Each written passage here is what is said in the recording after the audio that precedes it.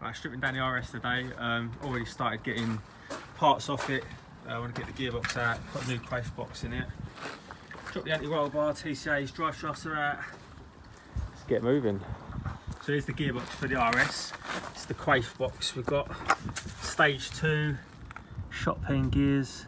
See the Quaife diff in there. And also, quick rack using the touring cars so it's the 2.78 rack, so it's 2.78 turns lock to lock, so that's a really short rack. New track control arms, get that in while the gear, gearbox is out and the engine's out, put new poly bushes on it.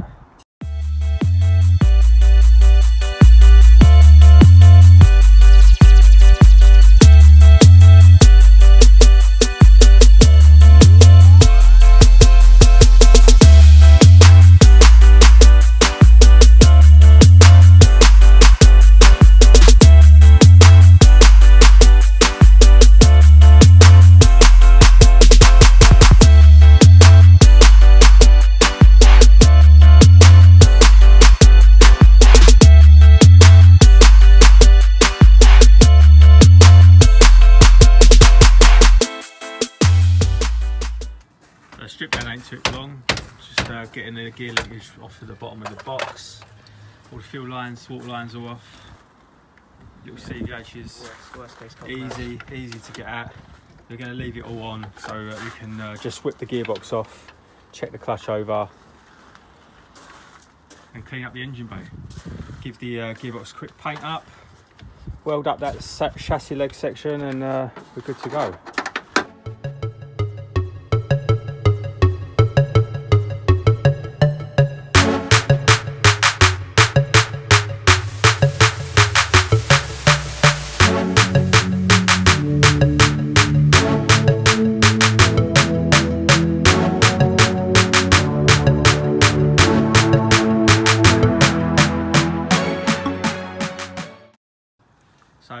Problem, we had to take the turbo off. You wouldn't believe that uh, little CVH engine wouldn't even fit inside a big old engine bay like that.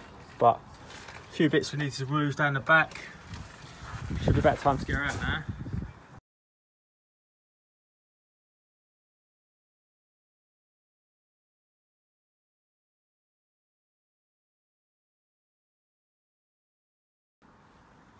There you go, comparison between the two.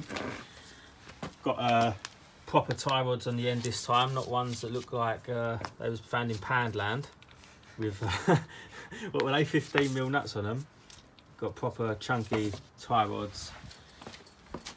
So the standard rack was uh, 3.6 lock to lock and the new one is now 2.78 lock to lock. You can see it's got rebuilt Quaife internals, the same that they use on the touring cars on the S1s. Uh, should give a much more positive feel. New gaiters, new clips. Should feel a lot better. All So the other thing is, as well, look how knackered these inner ball joints were. So if you've got your car and you check, you take your tie rods off and they flop around like that, they normally got play in the ball joints. So replace the inner arms. You can see how stiff these ones are. No movement. So they're brand new arms there. So engine's out now, it's starting to get dark. Gonna whip the gearbox off. Gonna get that one that's painted. We uh, stuck the quick rack in already, just got that centralised. So we're gonna go over the engine bay now, degrease it all down, get it looking nice. Gonna replace these brake lines because they're terrible. Um, they was done before, um, never been replaced. So we're gonna replace them. Give the engine bay a general tidy up.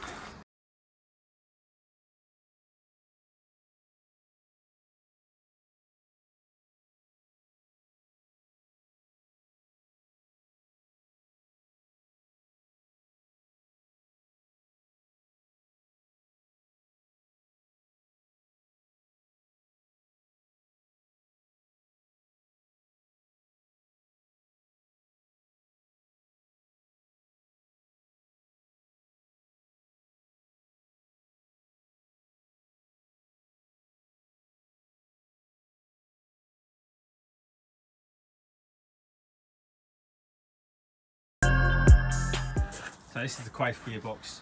We're going to uh, give it a quick sand down, a quick paint up.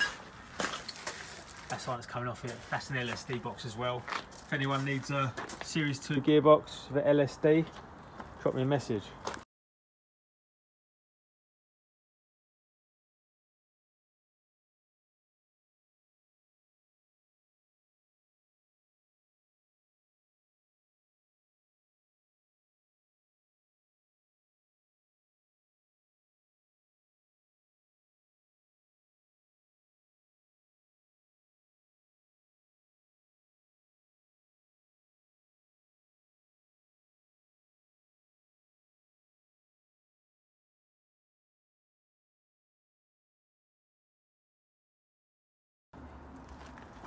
So I've gone over the whole engine, give it a thorough degrease. It's come up nice, uh, nice and clean. As I say, ain't done many miles the car. Went over the whole engine bay. See the paintwork's pretty good still.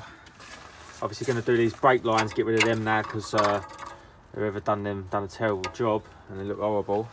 And we've deleted the ABS, so we've changed this cylinder and this reservoir for non-ABS one. And painted up the gearbox, even though it was clean anyway, give it a fresh coat of paint. So now just going to bolt it on. Went over checked the clutch, had that off. Clutch is good.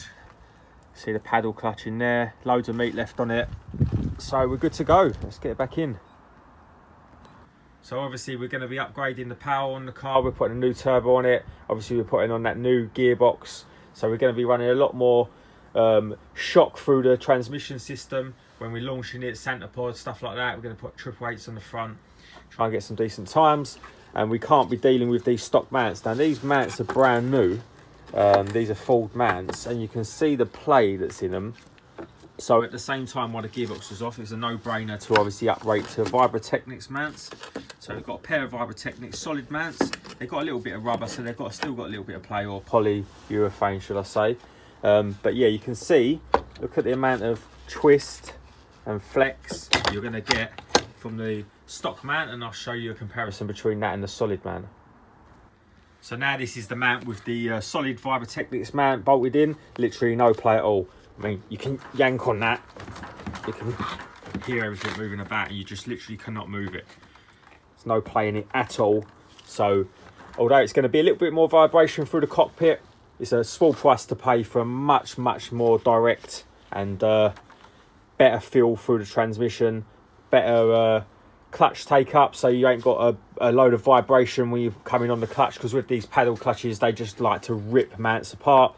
So it's a massive upgrade to do to the CVHs, especially because they've got the cross member um, as opposed to the Series 1 which doesn't have a cross member. So obviously when you're removing your gearbox on these cars, they're so cheap, always re replace these release bearings. Uh, one little thing is, some of these release bearings on the cheaper kits, are they come with these plastic brackets. These here, this is plastic.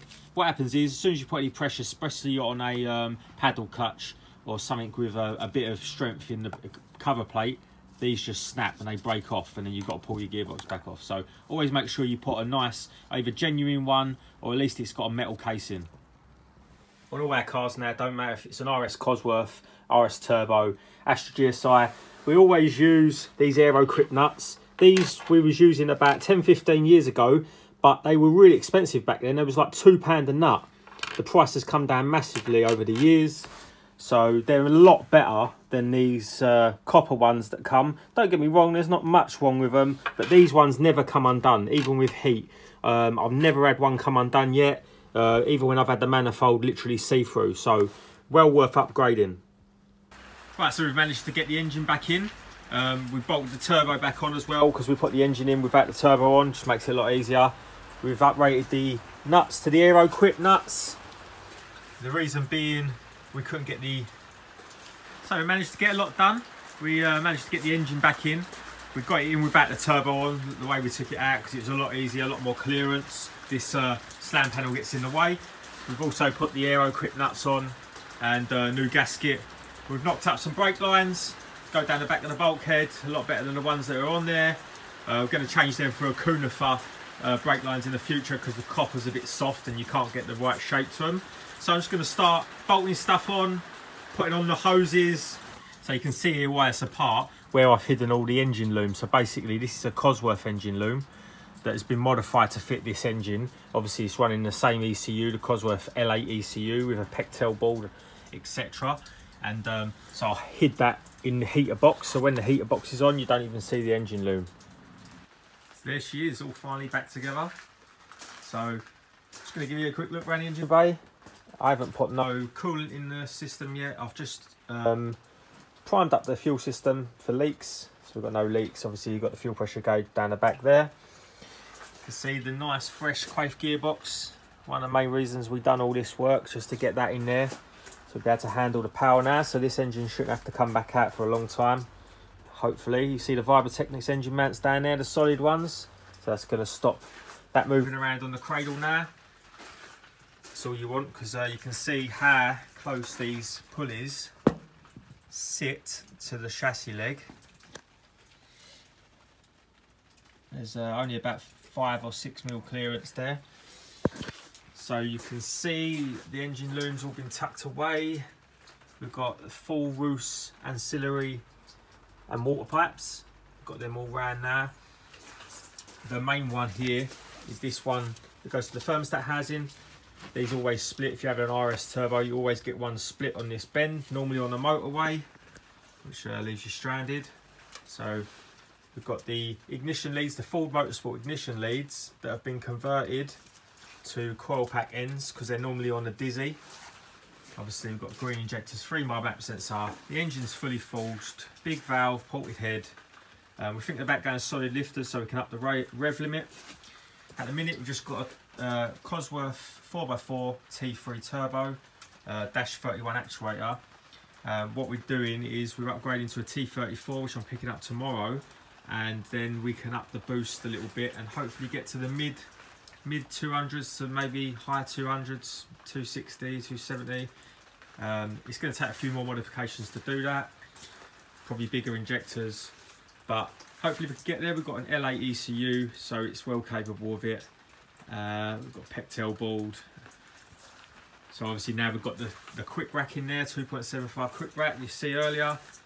So we're good to go. So this uh, should be back together now and we're just going to give the engine bay a tidy up, clean everything up and uh, get ready for mapping, get ready for back on the road. So I'm going to do some driving vids, obviously dyno vids, get some sand clips. So thanks for watching this one and I'll get on with the rest of the project and we'll see you next time.